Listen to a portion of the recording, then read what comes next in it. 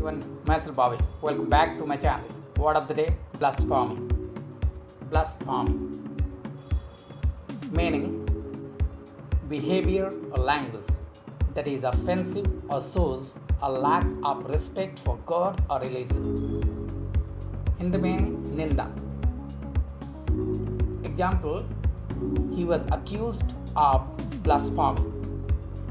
I hope you understand. See you in the next video. Thank you for watching. Thank you.